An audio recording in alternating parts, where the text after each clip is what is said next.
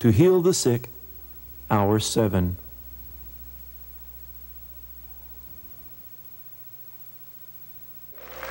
Praise the Lord. Praise the Lord.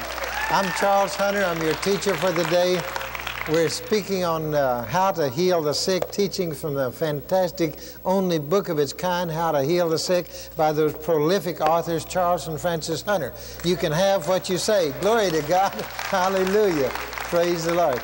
To our knowledge, this is the only book that's ever been written in the history of Christianity telling you how to go about performing the work that God, uh, Jesus said to do by the power of God, and that's healing the sick, casting out devils and such. Praise the Lord. We got an exciting one today. We're going to uh, be speaking out of chapter number uh, 15, casting out devils. Hallelujah. Now, uh, these little few points we want to want to bring out even before I start teaching. First of all, don't be afraid of demons. If somebody about six and a half feet tall that weighs about 200 pounds more than you and are a boxer and a prize fighter and a wrestler come up and they start to attack you, run. But if a demon that's eight foot tall comes up to try to attack you, you look him right in the eye and cast him out. He has no authority. Jesus absolutely, totally, completely, and forever defeated the devil when he went down and took those keys away from him out of death, hell, and the grave. Jesus Christ won, and he lives in us, and so we are winners. We have nothing to fear of demonic powers, not one thing except the lack of knowledge of how to do it and the lack of power in the event you're not filled with the Spirit of the living God. That's where we need to be. That's where we need to work on earth. You're not dealing with people, you're dealing with demon powers. All right, now, you cannot, some people get up, in the name of Jesus, I cast every devil out of the city of Houston. No, you can't do that. The reason you can't do that is God doesn't do it. God gave the devil permission to be prince of this earth. And the devil has free reign to an extent that we can only control him in relation to circumstances. Jesus had Cast the devil out of people. He didn't say cast the devil out of the world. So don't get the idea that you can bind Satan's powers. He's got demons scattered all around you at all times. But you don't have to fear. You've got the power of God. So don't be concerned with them just when they come along, cast them out. Don't spend your whole time dealing with demons. Simply deal with them quickly when uh, the Spirit of God discerns them to you. Cast them out. Keep talking about Jesus. Don't talk about devils. Lift up Jesus lift him up all the time. One of the greatest lessons God ever gave one time, Frances and I were ready to go on a weekly television program. We were going to produce it, our own program. And uh, so we were all set to go. And uh, our pastor got up the next Sunday morning and uh, told the story of a woman hearing a funny little snicker in the television room where her 13 year old daughter was watching television. And so she went in to investigate why this was such a peculiar little laugh and they were uh, producing live sexual intercourse on television. And when uh, she saw that, she was horrified. And she turned it off. She called the television company and complained. And they said, if you don't like it, just turn the television off. You got plenty of knobs, uh, turn it off. She went to our pastor, told him about that. He mentioned it in the congregation. Inside of Frances to me, they're welled up. We're going to fight pornography on this television program. We're going to see that we can do everything we can to stop pornography. And God so gently spoke, and He said, I'm not a God on the defensive, I'm a God on the offensive. You talk about Jesus, and I'll take care of the devils. Hallelujah. You see, Put your mind on Jesus, not on the devil. He doesn't deserve it, but if he comes along attacking somebody, it's your job and my job to get rid of them out of that person and to teach that person how to stay free of the devil's powers. Hallelujah. We had uh, a situation, uh, well, a, a, speaker, I'll put it that way, came through the City of Light a couple of years ago. His name was Howard Pittman. Howard Pittman was, uh, if I remember right, a part time policeman, a part time preacher, but he died with a massive heart attack and he went on up to heaven. And then he, God sent him back and put him back in his body, and he lived to tell the testimony. God said, Go back and tell us. Don't be concerned with denominations. He said, I'll open doors, tell this story. And so Howard Pittman shared that. Uh, that when he was when he died in the, I guess it was in the hospital room where he was when he died he said when his spirit eyes opened there were just literally the whole area filled with demon powers vicious demon powers but he said he went right up through those and he went up to heaven. And God allowed him to stand at the gate of judgment, at the seat of judgment. And he said every 60 seconds, every one minute, there were approximately 2,000 people that had died, that their spirits went up to heaven to be judged for eternity. And a horrible thing, he said, the most horrible thing I've ever seen in all my life was when Jesus had to say to 1950 out of 2,000, Depart from me, you cursed, I never knew you. Go into the everlasting damnation in a pit of hell. Jesus has to do that. He doesn't want to do that, but we're responsible here on earth to see that He doesn't have to do that. We, the people, we, the born again believers, we have been commissioned to be the body of the Lord Jesus Christ. We have all authority in heaven and earth, but we've got to do the job. God's not going to do it. Jesus is not going to do it. He commissioned us and ordained that we should be the one that preaches the gospel and casts out devils and heals the sick. That's us and we're the ones that have to do it. If you're interested in seeing 1,950 people a minute go into the pit of hell, don't ever open your mouth about casting out devils or healing the sick or preaching the gospel. Just forget it. Be, be filled with apathy, and you'll see them all go to hell. But when you get up there, uh, you're going to find the blood of all those people on your hand if you don't get out and do what the Lord Jesus Christ told us to do. Now, put that not in a condemning way, but just to try to shake anybody that's listening to this. We have a responsibility here on earth to get people into heaven permanently. Hallelujah. Praise God. Okay, now we're teaching on uh, casting out devils, but you can be sure that he that is in you and me is greater than he that's in the world. That means the devil himself. Okay, now I want to start off by uh, reading in, from our book. This chapter 15 starts on page 135, but I'm going to I'm going to go over to page 167. Uh, where in writing this book I summarized something about demons that I think will give us a, a little bit of understanding of what we're dealing with when we deal with demons. They're called demons, they're called devils, they're called evil spirits, but whatever they're called, they're still the devil's tools. They're fallen angels. Some people feel that there's another uh, group that's not the fallen angels. I could care less. You got the same instruction to cast them out. They do the same kind of work wherever they come from. I personally believe they're demon angels, the ones that got thrown out of heaven. It starts about uh, two thirds of the way down. Demons are invisible, bodiless creatures that have the ability to move about wherever Satan sends them.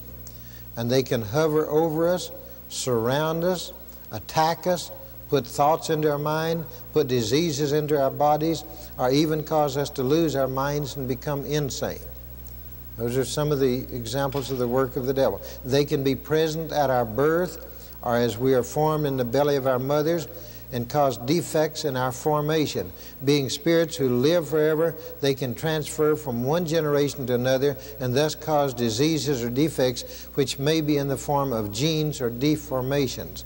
They come against our flesh to try to control our souls. We must use all the understanding we can get and allow the Holy Spirit to teach us how to get rid of them in whatever way they attack us. Your job and our job is to liberate our fellow human beings from the influence and control of Satan and his demon aids and to teach them how to remain free. Jesus said, Heal the sick, cleanse the leper, raise the dead, cast out devils. Freely you have received, freely give. That's Matthew 10 8. All right, now, another little area of generality I want to cover. I, I, like, I would like to call that devil by any name that I could think of.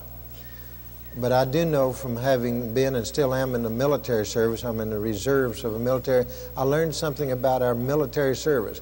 If our nation in war captured a top general, they don't belittle that general. They may cross examine him, they may do everything, but they still call him by his title. They respect that title even of an enemy that's captured. We are expected to rep, not to love the devil, but to respect his title. When people say old Slewfoot came around, it kind of something said eh, eh, eh in me. Not that I'd love or have any respect for the devil, except I want to read you from the book of Jude, right back next to Revelation. I'm going to start with the fifth verse of the book of Jude and read you something that Almighty God says. And I think we must realize that if we'll stay in the order of things, we don't have to submit to the devil, but we still recognize that he is He's a creature that originally was created by God. He was thrown out of heaven. He is the prince of this earth. He's an enemy of ours uh, but there's a certain degree of uh, respect, not honor, but respect. Jude, the fifth verse. But I want to remind you though you once knew this, that the Lord, having saved the people out of the land of Egypt, afterwards destroyed those who did not believe, and the angels who did not keep their proper domain, those are the evil spirits, but left their own habitation, he has reserved in everlasting chains under darkness for the judgment of the great day, as Sodom and Gomorrah and the cities around them in a similar manner to these, having given themselves over to sexual immortality, immor immorality and gone after strange flesh, are set before uh, set forth as an example, suffering the vengeance of eternal life. Likewise, also these dreamers defile the flesh, reject authority, and speak evil of dignitaries. Now listen to this next verse, the ninth verse. Yet Michael, now Michael is the archangel who is, is the warrior angel. He's head over all the warring angels of God.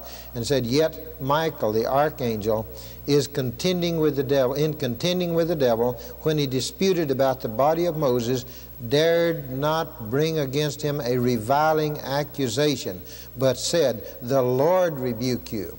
Don't go around rebuking the devil but you can rebuke his causes. Jesus rebuked fever that was in Peter's mother in law. He rebuked the fever, but he didn't rebuke the devil. You bind the devil, you don't rebuke him. When he is bound, you have all authority in heaven and earth, the authority given by Jesus Christ, the power of the Spirit of the living God, which is all power. You have that power to bind the devil, cut his powers off from these demon angels he sends out to do his bidding and his work, and you can bind him from that particular situation. You can't bind devil from all of his activities, but if he uh, attacks somebody, possesses them, does something to a human being, you have all authority to clear that human being of those demon powers. Hallelujah. Hallelujah. Okay, now, this casting out devils is an unusual subject to discuss. It's exciting, it's venturesome, you have uh, unusual experiences when you're dealing with them. It's dangerous unless you know what you're doing. Not dangerous because the devil is danger to a spirit filled person, but because of the imbalance that is brought into teachings and understandings of how to deal with the devil. If you don't know how to deal with them, you can get off base and you can get yourself in some spirit problems with the devil, mentally, physically, and all kinds of ways that the devil can attack. So listen carefully to this teaching, get the book, read this, other good books by other authors that are spirit filled authors. You can read them, learn things about the demon powers, so that when you see a devil, you can recognize. I'll never forget our daughter, spirit filled in Oral Roberts University one time, called one night just as the film The Exorcist came out. Now, The Exorcist is a devil inspired uh, film, movie. And so our daughter called and she was excited. The students had all been talking about this exorcist. And she said, Mom and Dad, I'm really praying about whether to go to this exorcist film so I will know more about how to cast out devils. Her daddy said one thing Joni, do you go to the devil to find out how to cast out the devil, or do you go to God to find out how to cast out a devil? Joni didn't go see the exorcist. Don't try to learn how to deal with the devil by the things of the devil. Read the 12th chapter of Matthew, and Jesus didn't cast out the devil by Beelzebub, uh, the power of the devil that uh, Jesus said. He said, That's a house divided against itself, and it'll fall. But Jesus cast out devils by the power of the Spirit of the living God. And when you cast out devils with that power, there's no greater power than the power of God. And devils don't have one little bit of authority over Jesus. They don't have one little bit of the power of the Holy Spirit. They do have power as being angels. God did not take the angelic power away from them. They have great and mighty power. They're referred to as powerful princes of peace, these powerful demon spirits. Uh, they are powerful, but we've got more power than they have. Hallelujah. Okay. Everything that you do in dealing with demons is given to us by the authority of the Lord Jesus Christ. God gave Jesus all power and all authority in heaven and earth. In the heavens, generally the spirits are, are between here and the heaven where God and Jesus live. They're up in the atmosphere someplace. We don't know where, but they're in that part of what's called the heavens. We know that because when uh, when Daniel prayed to God and he asked for an answer from God, it took 21 days for that answer to get back down to Daniel. And the reason it did, uh, Gabriel uh, finally got down there at 21 days and he said, The instant you prayed, God heard you and sent me down here to give you the answer. But I ran into all these other demon angels up there, he said, and I couldn't get through. Now that's God's highest messenger angel. And so there's a communication line that's perfect between God and His angels, instant communication. There's no lack of knowledge. The Spirit of God monitors every event in the heavens and earth. God knows everything that is instantly, so there's no shortage of God's awareness of anything. And so God sent the angel Michael, the warring angel, out. Didn't send Michael and 10,000 angels. He sent Michael all by himself. And Michael went down there those demons were scattered, and then uh, Gabriel was allowed to come on through. Gabriel apparently is not a warring angel. There are assignments to angels, but these demon powers, the principal thing that apparently they do is to try to take the soul of a person. They want to defeat your belief in the Lord Jesus Christ and Almighty God. They want to rob your soul for eternity. Uh, that's their function. They're operating under the authority of the devil himself, Satan, Lucifer, uh, and all of these demons, probably millions, if not billions of them. There are huge, vast numbers of them, innumerable uh, amounts of these demon angels. The devil's not uh, short of employees, and he sends them out with great power to try to get in and control us and to take our faith away from believing in God. That's their function. So, knowing that, we know how to come against them. Hallelujah. Uh, I realize that while we're on earth, even though we're male and female, yet in the spirit realm, there's no such thing as male and female. And when you're dealing with demon powers, you're neither male nor female now on earth. You're already in eternity. When you're walking in the spirit and not in the flesh, you gals, you are equal to men in every way. Therefore, you've got the same uh, responsibility as any man, big, little, medium, young, old, every one of us who believe have been given the direction, the command, the authority, the responsibility, and the privilege of casting out devils to free people from the bondage of the devil that will take people into eternal damnation. We are the ones who become the ones who free people so that Jesus can be the Savior of the world. He has assigned those responsibilities to us we have the absolute authority. When God gave Jesus all power and all authority in heaven and earth, Jesus, in the last chapter of Mark, turned right around and he passed all of that power over to us. And so, through that power that he gave, in my name they shall cast out devils, he said. That's Matthew 8 16. Uh, and he said, You cast out spirits by his word. We're given authority to do these things, but we must be the ones who do it. God will not, Jesus will not. They could do anything they wanted to, but they set up a pattern and they made us the ones who are to do these jobs on earth. Jesus used very few words when he cast out devils. One word, or just speaking two or three words, he cast them out they always come out. I remember one time I was surprised that uh, a group of demons didn't come out one time. This were the, uh, the 3,000 pigs. You remember the story about that? The demons, there was a whole legion of them in there. And uh, Jesus cast them out. And uh, they didn't come out. But they knew they had to. They just said, Jesus, it's not time for us to go into the pit. Let us go into the pigs. And he said, okay. They didn't say, Jesus, we refuse to come out.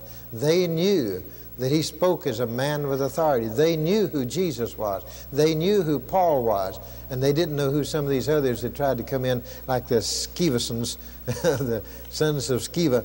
Uh, they didn't know about how to do this, but, uh, but they tried to do it by, by speaking what they heard somebody else to do. You don't do it that way. You do it by the power of God and with the authority of the Lord Jesus Christ. When Jesus said, use my name, that means his total authority. He is the Son of the living God. He is King of all kings. He is the Savior of the world. He's the one given a name that's above all other names, all the demon names, all the names of all the diseases. The name of the Lord Jesus Christ is high and lifted up above all of those, and He has all authority, but He placed that authority in, authority in you and me, and we have that authority to do it. Uh, if you were driving down the street and you ran a red light or you speeded and a policeman came up, uh, he'll walk up to you and he'll show his badge and he'll say, Let me see your license. And when he does that, uh, when you see that little badge, it may say PD, Police Department number 176321. But if you look upon my, uh, my label right here, you'll see my police bag. It says number one, J E S U S. That's my authority. A policeman has authority to arrest you if you violate the law of the land. You don't have a right to question him. You can go into courts and say, you know, try to defend yourself, but if he's, if he's hooked you with the breaking of the law, he has all authority of his bosses, of his government above him to arrest you. He doesn't do it with his own good living. He does it because he's got a badge of authority. We have a badge of authority given to us by the Lord Jesus Christ, and we have authority to arrest the devil and all of his demon powers, cast him out, get rid of him. I want you to realize who you are in Christ Jesus. And it's because it's Christ Jesus living in you, and you, uh, it is not I who live, but Christ Jesus who lives within me, then that's why we can do all of these things. We don't, we're not so hot shot. Uh, we just have God and Jesus living in us, and we've got an assignment. We have authority given to it, to us to do these things. Behold, I give unto you power to tread on serpents and scorpions, and over all the power of the enemy, and nothing shall by any means hurt you. That is the Word of God. And if we quote the Word of God to the devil, he can't stand it. When he came out in the wilderness to tempt Jesus, Jesus merely spoke the Word of God. He didn't have to give him excuses. He didn't have to tell the devil, I'm some big shot from heaven.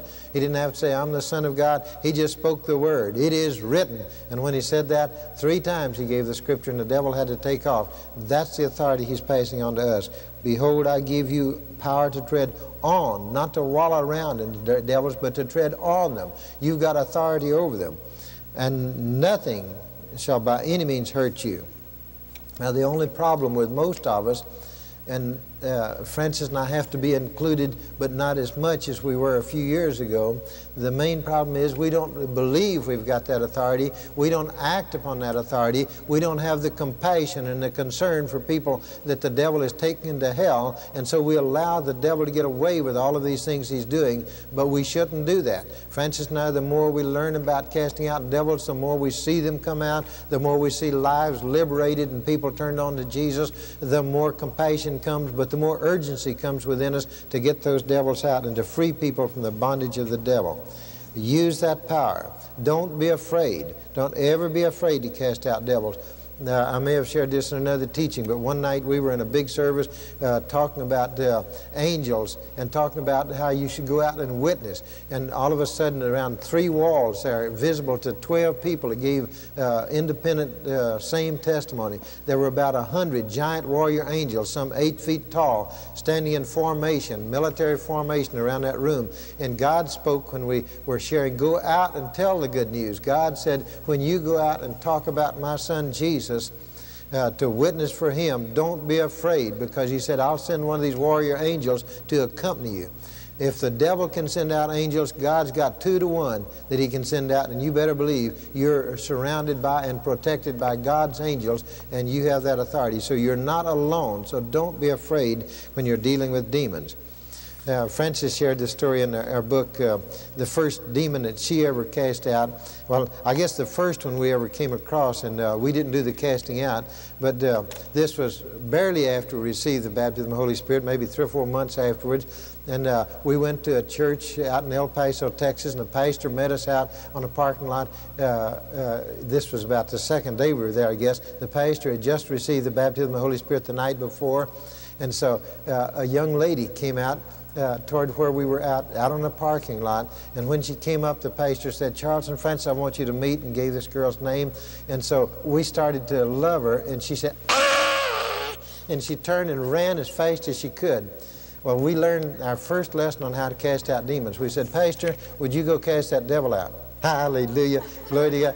That guy didn't know what a devil was. I mean, he just had the baptism, and you don't really understand demons. But you know, he didn't get to the service for about 30, 40 minutes, but he got the devil out, and she came in smiling. Hallelujah. That's our first devil we cast out. Praise God, through somebody else. And, and one time I remember, uh, uh, just it was not long after that, we knew so little about casting out devils. Uh, when I was in high school, I guess, I broke this finger and I don't know whether you can see it on television out there, but it's got a bend in it. And so uh, I was ministering and uh, ministering to the sick, and this young girl, she came up, she had just been saved, just got to baptism, and she said, hold your finger out, and I did, and she said, devil, you come out of there, you crooked finger demon, come out of there. She had had a little bit of teaching, now it didn't really blend with my spirit, and that that finger's still crooked, but it's a broken bone. It's not a demon at all, you see. And I felt sorry for that little gal, but she did meet somebody that knew more than we did that kind of got her teaching straightened out, and she was all right. Uh, one of my very first experiences, and don't look for this often, I've only seen it three or four times, and it's been years since I saw this, and maybe other people do, but one time I had a, uh, a girl come up, and uh, she was giving a fit to some of them. She came up to me for deliverance, and I looked into her eyes. Your eyes are the windows of your soul. And as I looked into her eyes, I saw something deep inside there. They looked like little monkey eyes. And it looked like that little monkey was just laughing up a storm at me. you don't know you got any authority. I mean, that was kind of what it's saying, but I didn't know that was it. And I looked those, and the hair stood up on my bald head. Glory to God. I tell you, I saw eyes behind the eyes, and I knew it was a demon power, but I tried to cast it out, but I didn't succeed. But praise God, we were back in that area uh, later on, and I discovered that some pastor there that, that knew how to do it got rid of those demons, and that girl was freed because immediately when I couldn't get it out, I said, God, send somebody that'll free that girl and teach me how to do it. Hallelujah. Well, the first one that Frances recalls actually casting out uh, it was a big executive, a high executive in a, in a company came up to her and he came up for some sort of uh, healing or something and we were babies again frances laid hands on him and he went under the power of god and he started choking. And, and uh, she didn't know what to do but she just stood there and said jesus jesus jesus. She knew that that name of jesus was a name used. And she kept saying jesus. And all of a sudden and he got up and he said i didn't know that thing was in me. See, ignorance of a lot of things, but still God honored the simplicity of our belief. I remember one time we were ministering in a uh, after a service, and didn't have a lot of ministering room, and I had ministered the baptism while Frances began ministering the healing. And because of a shortage of time, she just had them all line up across the large room. And she just went by in Jesus' name, in Jesus' name, and touched them. And they were falling under the power. And by that time, I got, uh, got back out to that room, and somebody came running to me and said, There's a man over there choking to death. There's a man over there choking to death. Come help him somewhere. And I went over and I looked down at him, and I knew, I knew, I knew without a doubt that it was a demon spirit choking. You remember they choked him in the Bible? Well, when I saw that man choking, there was no reason for him to, and that was a gift of discerning of the spirits. When I recognized that, I just pointed down to him. I didn't even touch him. Frances had already done that, and seeing the demon was resisting coming out. The demon had been ordered to come out simply by the power of God. Frances didn't cast the devil out, but the demons can't stand the power of the Holy Spirit. So this guy choking, he turned red. He just almost turned black in his face. And I said, Devil, in the name of Jesus, I bind you. You choking devil, you come out in Jesus' name. I said, I said, come out in the name of Jesus and do it now. He said, Oh, it almost got me. Hallelujah. See, but we've got authority. Now, sometimes you wonder, is, are they going to come out or are they not? Jesus knew it, and so the more you cast out, then you see the success of it. You'll have some failures, I'll guarantee you about that. But don't worry about those. Praise God for the success and keep doing it, you see. The more you do, the more that'll come out. Hallelujah. We've had some exciting hair-raising experiences. Didn't remove my hair that left before I knew about demons. Glory to God. Hallelujah. All right now, Frances said, I'll tell you the truth, when that happened to this executive, she said, I was shaking in my boots. But she didn't back up, and that's the important thing to remember in this. Don't back away from demons.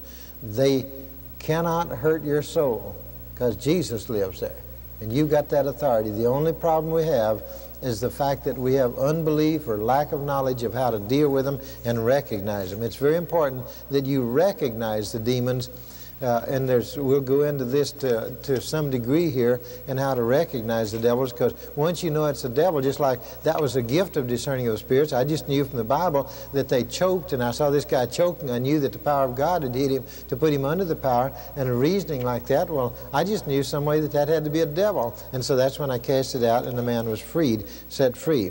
Now, uh, a lot of people, uh, they, they don't really go ahead and do it. They just partially do it, and those are called partial believers.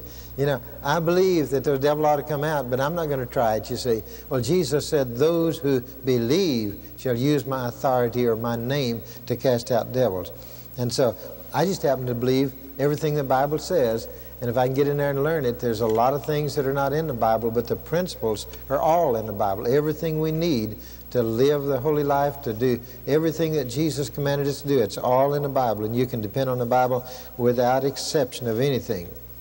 Now, there's a case here of Jesus casting out a devil. This is uh, uh, this in Mark 9, 17 to 20, and I'll be reading from the Living Bible. One of the men in the crowd spoke up and said, Teacher, I brought my son for you to heal. He can't talk because he is possessed by a demon.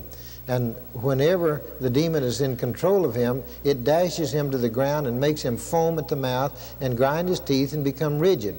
So I begged your disciples to cast out the demons, but they couldn't do it. Aren't you glad to know that even the beginning disciples had problems like you and I do? But that doesn't stop me from trying it. I hope it never stops you from trying it. But don't get out into some of these wild places and do some crazy things because it won't do you any good, it'll do you harm.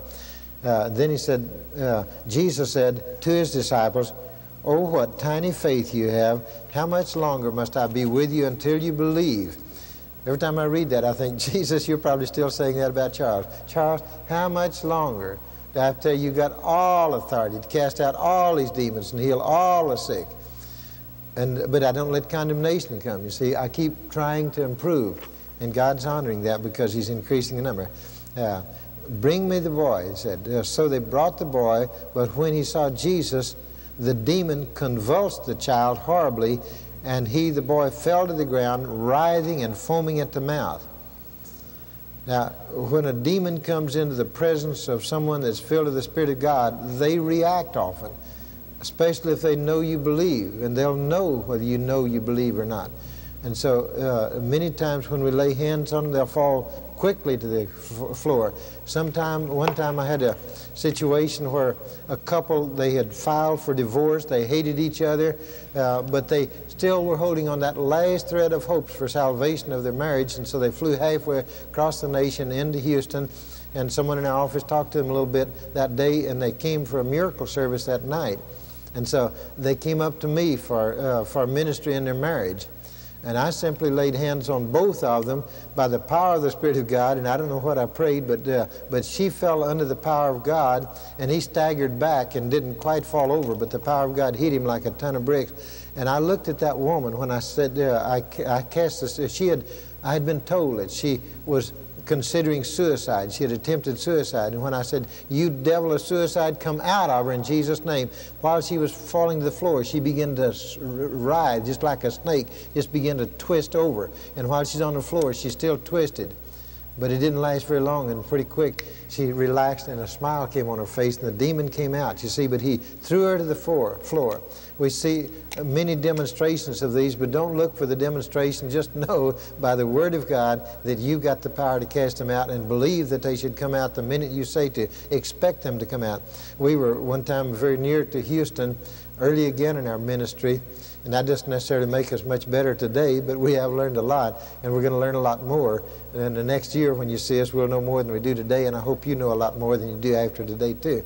But uh, this woman was brought to us with cancer. She was right, to, very close to the point of death in cancer. She was still walking, but we laid hands on her and cast the spirit of cancer out, and she fell under the power of God. And I remember it was a concrete floor. I can still see it there.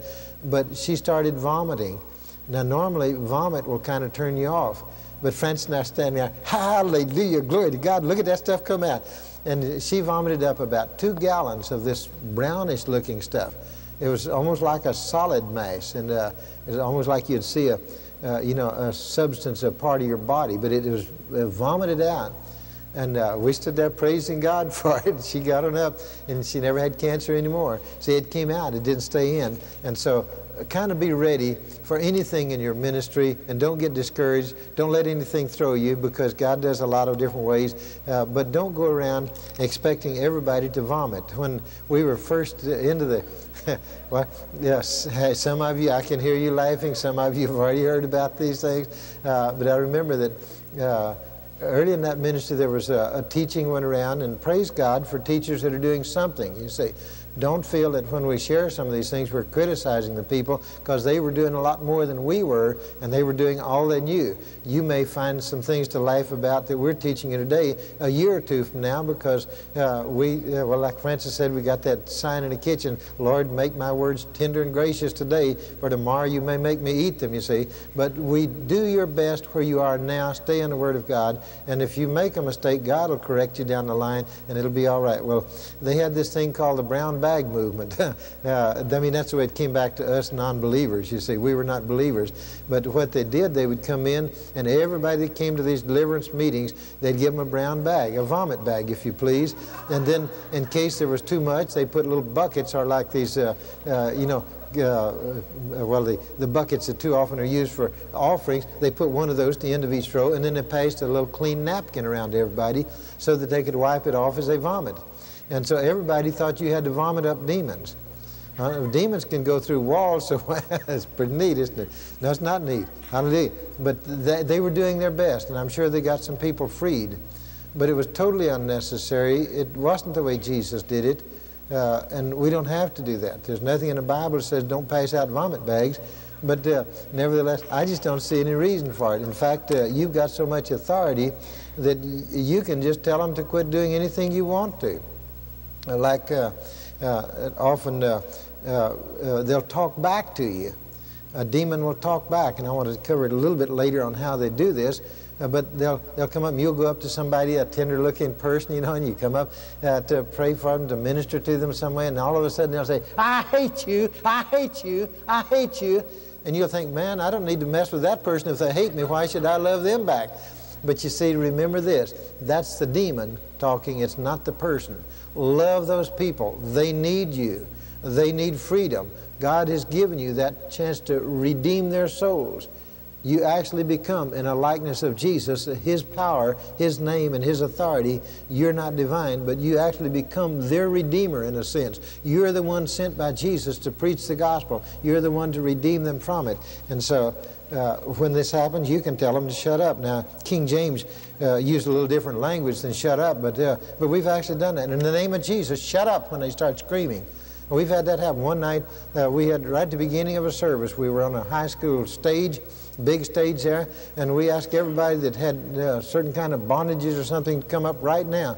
Uh, and so we lined them up in rows across that stage. Must have been 300. It was a huge stage. So Frances and I just started down the line, and uh, we'd cast out the devil all over the microphone. We just started running and putting hands on them, and uh, over here and then over there and over here. Three of them started screaming. Ah! hideous screams. I mean, it, it just curls your spine almost. And, uh, and so we just walked over. I think Frances got one and I got two. I went over and said, in the name of Jesus, shut up and they shut up just instantly. Well, the scripture for that is Jesus said in Mark 1:25, "Hold your peace and come out of him." Hold your peace. That's King James for shut up. Hallelujah. Okay. I like modern language better. Praise the Lord. Okay, but they don't have to talk back to you. But don't doubt when you go up there. Know that Jesus living in you, the Spirit of God living in you, that you're doing the work of Jesus, and Jesus is not afraid of demons. He knows who He is. All right, hallelujah.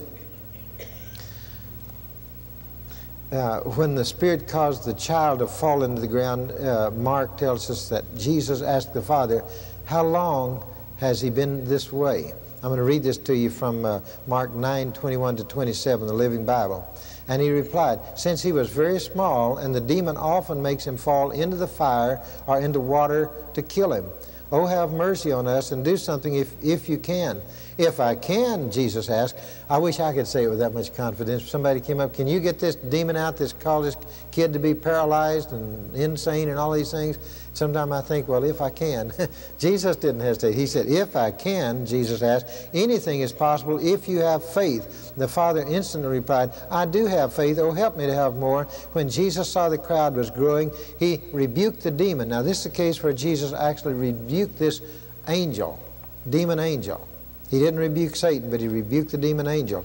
But Jesus also is the Lord, and so according to the Jude that I just read you, Jesus Christ can rebuke the devil, but we better say, the Lord rebuke you if we get ready to do that. And so that little extra teaching thrown in there. O demon of deafness and dumbness, he said, I command you to come out of this child and enter him no more.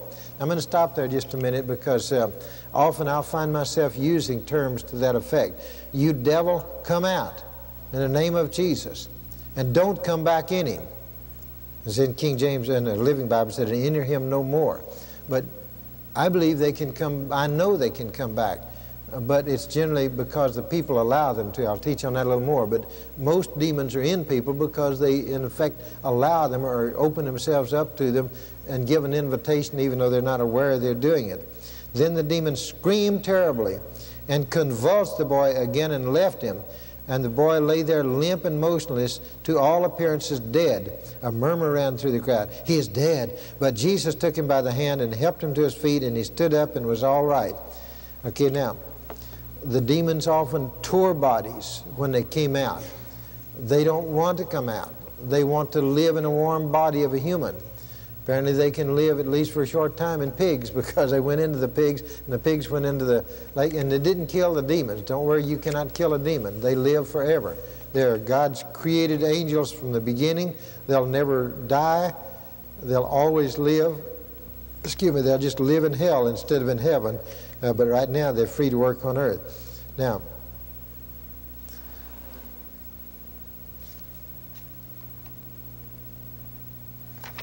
Hallelujah. People without the baptism of the Holy Spirit, I'm not saying you cannot get a demon out because you can anoint with oil and pray for the sick. And if you don't have the baptism of the Holy Spirit, the power of the Spirit of God will still come down from heaven and do it. And Jesus sent the disciples out two by two before they received the power of the Holy Spirit but they took their oil with them and they came back and said the demons came out. So we know that not being spirit filled, you can still get demons out. But just in the same way, you get uh, far less people healed and far less people de uh, delivered of demons when you don't have the power of the Holy Spirit. Beware if you tie into a person that's got demon possession if you don't have the power of the Holy Spirit.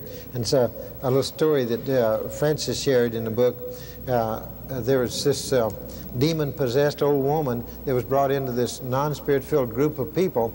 And so they had a, an empty building out a little ways away from where all the people were. So they all set it up and they chose a bunch of men to go out there and exorcise this woman of these demons. And so they got out there and uh, and can you imagine 100 and 200 pound men and this this old woman, she just picking them up and throwing them across the room upside that. And hours went by, and they came back, and all these stories came back. You know, uh, she threw us around. They came back scratched, and they came back with their uh, clothes torn. They really had a battle on their hands, and she went away demon possessed.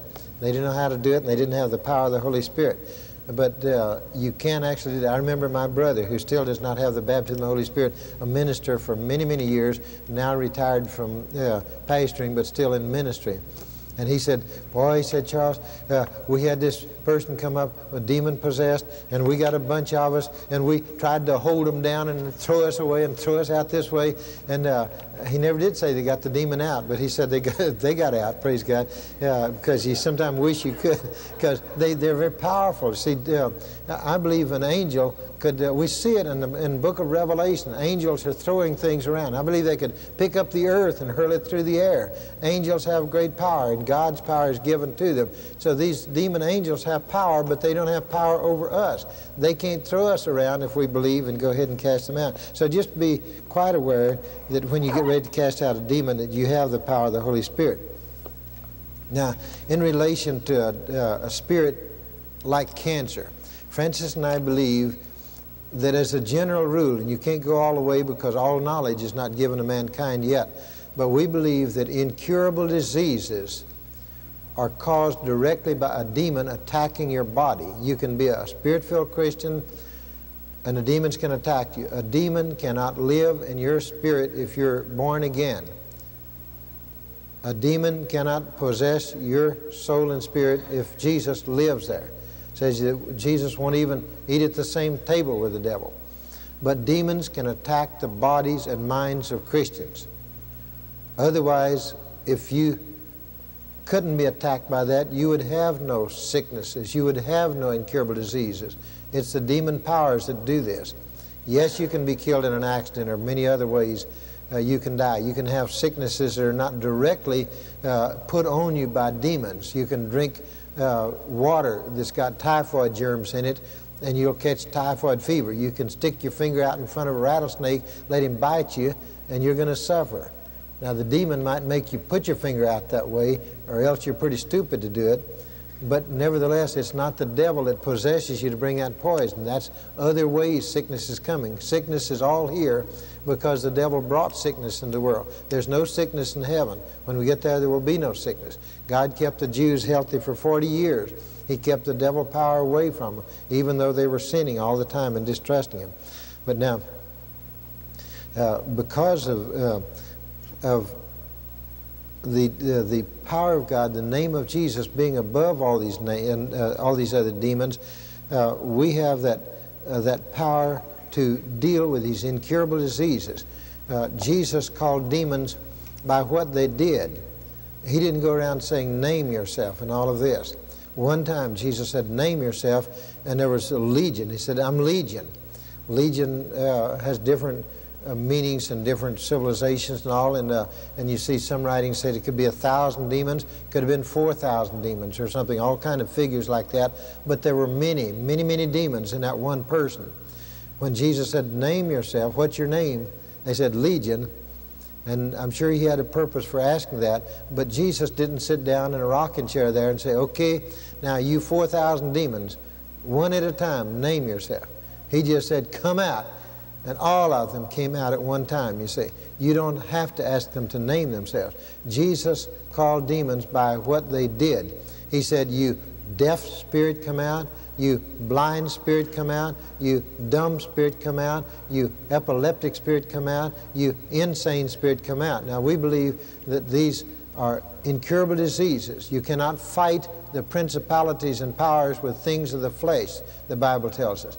Therefore, if you're a doctor and you're not spirit filled, then you can't fight, you can't even find out, you can't even recognize what is the cause, and therefore you can't find a cure for diseases that are directly brought about by a demon spirit putting on you. Uh, I taught uh, in this series on casting out the spirit of death in the event of stroke. The only reason I knew that was God spoke words to me.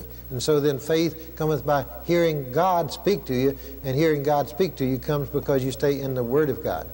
And then, so then faith cometh by hearing, and hearing by the Word of God.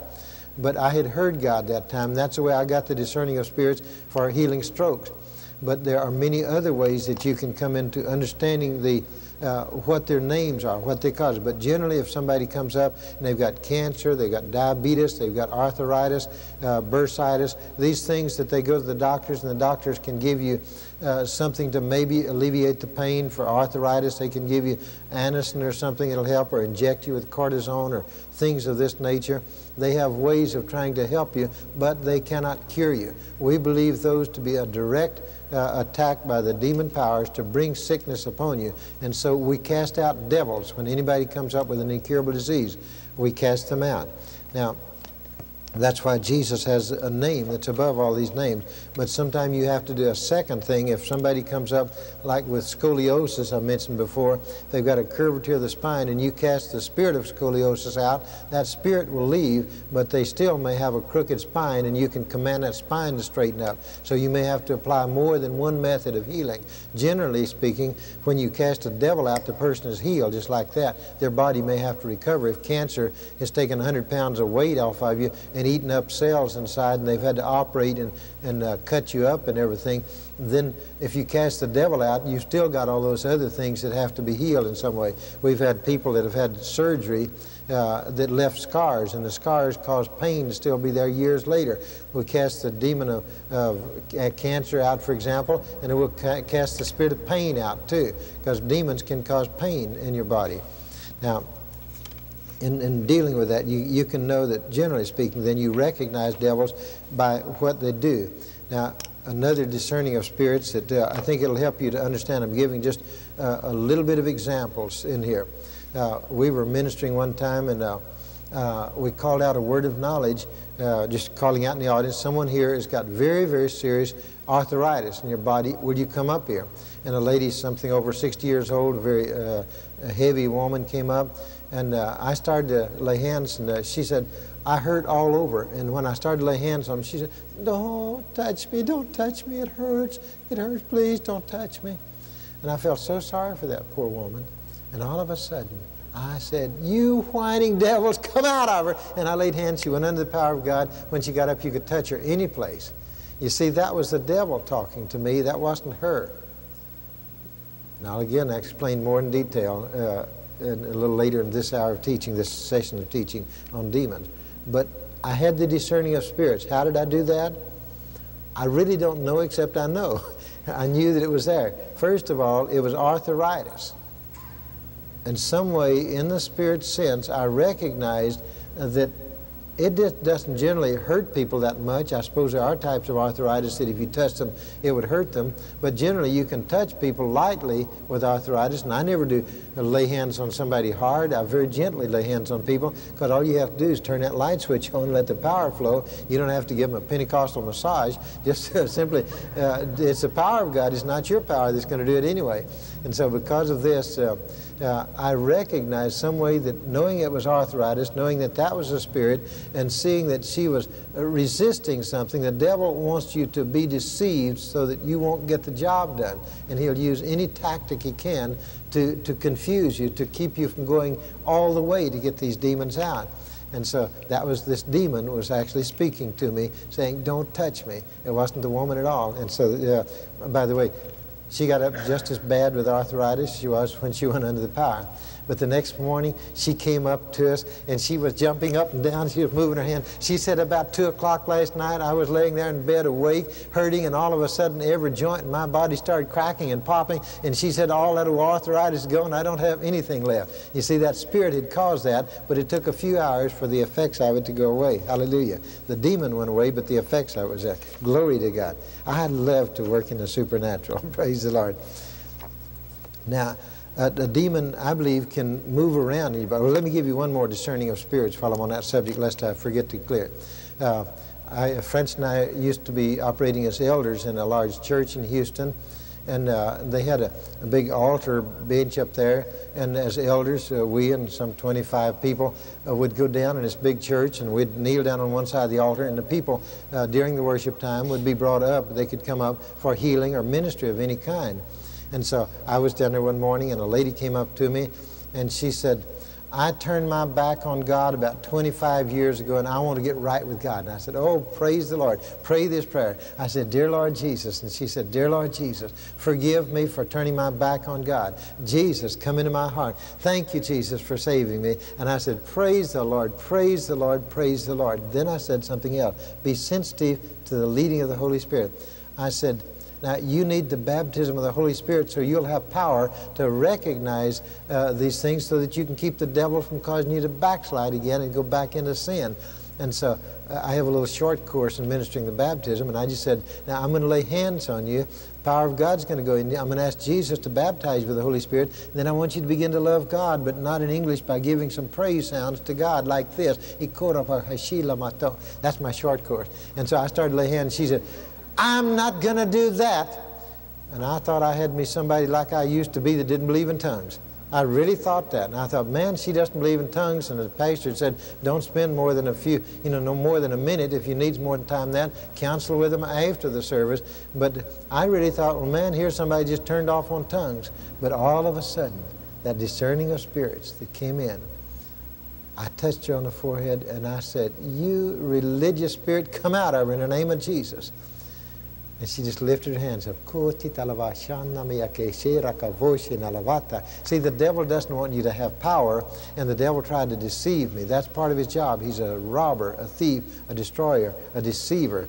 And the devil tried to convince me in my mind that this woman just didn't believe. But the devil was the one that didn't want this to happen, and he didn't want me to believe. But I won. Hallelujah. Glory to God. Praise the Lord. All right, now, we believe that uh, in a situation like cancer, and we do not have enough evidence to say this is so, but we believe it. Uh, if my daddy planted a seed, a sperm, with my life in it into the womb of my mother, that little seed begins to multiply and grow. Your body has uh, cells in it that multiply and grow. And we believe that a demon spirit can do the negative miracle. I like to call them negative miracles. There's nothing that'll ever bless you, but they will plant a seed of cancer or something to that effect. Plant that seed into your bloodstream or into your bone marrow, wherever they might want to plant it, and that seed will multiply in that body. Now, the marrow of your bone is the manufacturer of blood. And if a demon power gets in there and that seeds start multiplying, and the doctors say, well, the, what is the white blood cells multiply too fast and eat up the red blood cells? It's a fast uh, multiplication of cells. It's a runaway wild cells that happen. Uh, we believe that the demons can plant a cell in there that will grow rapidly and cause uh, the disease that's named cancer. Now, in a case like that, and we, we talked to another evangelist one time that felt that he had heard from God about this, in the event you have something like that, then what we normally pray when we uh, minister healing to someone with cancer, we'll say, Devil, I bind you by the power of the Spirit of God in the name of Jesus.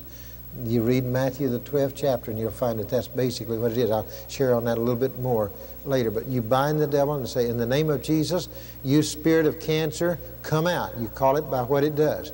The doctors call it cancer, you call it cancer. The demon knows what it's doing. His name may be certainly not Charles, but it may be some other name. Hallelujah. And so the demon, uh, the demon will come on out then at your command if you believe. Then we say, in the name of Jesus, we curse that seed and we command you to die in the name of Jesus and not reproduce yourself. In Jesus' name, we command all the damage you've done to be healed in the name of Jesus.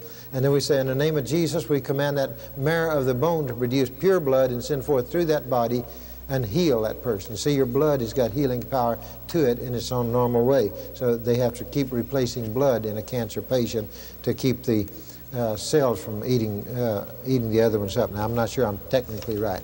Okay, now we had a case where a spirit-filled doctor, uh, his record uh, of healing cancer was so good that some of the other doctors in the community in this big hospital were sending their terminal patients over to him. And he had the best record of all. You know why? When he got in there, he would go into surgery and he'd be praying in tongues and he'd be doing his surgery, the things that he's supposed to do with the skill of a physician. And while he's praying in tongues, he'll say, Devil, I bind you by the power of the Spirit of God. Now you devils of cancer come out. And he'd cut out those uh, damaged cells and all and worked. And so he had a tremendous uh, success in that because he cast the devils out. Hallelujah. So that's, that's something you need to know. Um, another medical doctor gave us something. I'm going to read this. He said it has to do with uh, uh, discerning of spirits and believing uh, that, uh, that you can actually succeed, but uh, relating to incurable diseases being caused by demon powers. In this day and age in which we are, are leading men, Start over. In this day and age in which we are landing men on the moon and are looking at DNA molecules through microscopes, I consider that those diseases which we cannot understand and which we claim as incurable must have their origin elsewhere than in science. DNA molecules are chromosomes that carry the hereditary factors, genes, which are of DNA. Now, we believe that those uh, other sources are demon powers. For we are not fighting against people made of flesh and blood, but against persons without bodies, the evil rulers of the unseen world, those mighty satanic beings and great evil princes of darkness who rule this world, and against huge numbers of wicked spirits in the spirit world. That's Ephesians 6:12. We're not fighting against people, we're fighting against demon powers. Glory to God. Give Jesus a hand. Hallelujah. Praise the Lord.